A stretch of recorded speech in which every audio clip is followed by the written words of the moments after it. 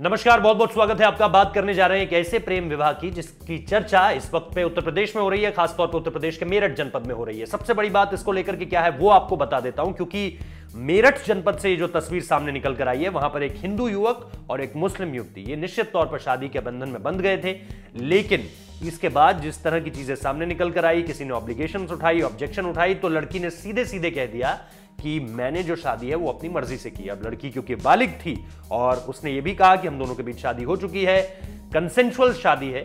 ऐसा नहीं है कि कुछ दबाव मेरे ऊपर डाला गया है या धर्म परिवर्तन को लेकर के किसी तरह की कोई बातचीत है या ये सब फर्जीवाड़ा ऐसा कुछ भी नहीं कहा। कहा यह गया कि मैं जो है, मैं आपको पूरी की पूरी कहानी बता दूँ। युवती ने कोर्ट में पेश होकर जज के सामने खुद को बालिक बताया। तेरह दिसंबर को अपने घर से फरार ये दोनों हो गए थे।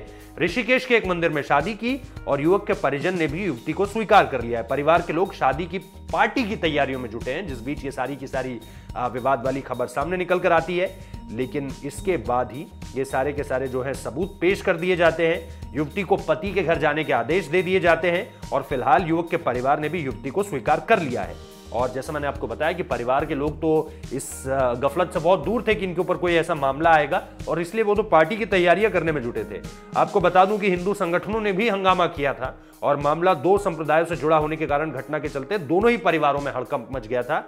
लेकिन फ़िलहाल जो है, कोर्ट में जो कोर्ट ने सीधे तौर पर कहा है कि पति के घर भेज दो, क्योंकि मामला बालिक लड़की का है कंसेंशुअल है। किसी तरह का कोई दबाव नहीं है, लड़की खुशी खुशी लड़के के घर जाना चाहती है तो प्रेम विवाह है। इसलिए बाकी लोगों को हंगामा करने दीजिए। हंगामा इतना ना हो जाए कि किसी को कोई दिक्कत आए।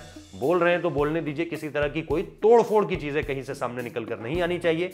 इसीलिए जो है, अब पूरी चीज़ें सेटल्ड हो चुकी है। कोर्ट ने हस्तक्षेप किया, पुलिस ने जो है सारी की सारी चीज़ें कार्रवाई के रूप में कर दी। और अब जो है पति पत्नी साथ में रह रहे परिवार के साथ रह रहे हैं, शादी की पार्टियों की तैयारी चल रही है। ये मेरठ से खबर है। बहुत बहुत शुक्रिया इस वीडियो को देखने के लिए। अच्छा लगा है तो लाइक ज़रूर कीजिए। चैनल को सब्सक्राइब करना मत भूलिए। बहुत बहुत शुक्रिया।